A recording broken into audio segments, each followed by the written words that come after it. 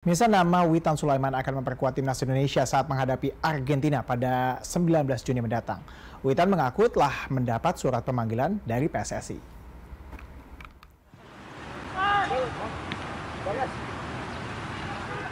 Ketua Umum PSSI Erick Thohir telah resmi mengumumkan timnas Garuda akan melakoni FIFA Matchday menghadapi Argentina pada 19 Juni 2023. Meski belum merilis nama pemain yang akan tampil, timnas senior yang saat ini ditangani Shin Tae-yong dipastikan kembali memanggil Witan Sulaiman untuk bermain lawan juara dunia tersebut. Uh, ya sudah ada sudah surat panggilan. Nanti pasti PSSI akan mengumumkan nama-nama. Bangga bangga sekali dan bisa di, di, kata-kata. Terlepas dari pemanggilan, Witan berharap Lionel Messi bisa hadir bersama timnas Argentina karena ia telah mengidolakannya sejak semasa kecil. Bahkan, adik Witan diberi nama Akbar Lionel Messi sebagai penghormatan terhadap pemain berjuluk La Pulga tersebut.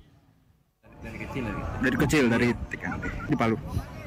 Sampai tanggal eh, ju, sampai bulan Juni, tidak tahu tanggal 3 atau 4. 5 Juni 6 Juni kayak sudah masuk TC ya. Belum tahu tanggal berapa itu TC, tapi kayaknya ke Jakarta saya tanggal 4. Tanggal. Sementara itu, PSSI telah mengumumkan harga tiket pertandingan Indonesia versus Argentina.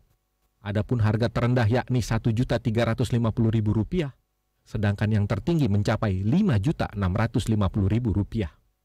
Adi Pranata, Kota Palu, Sulawesi Tengah.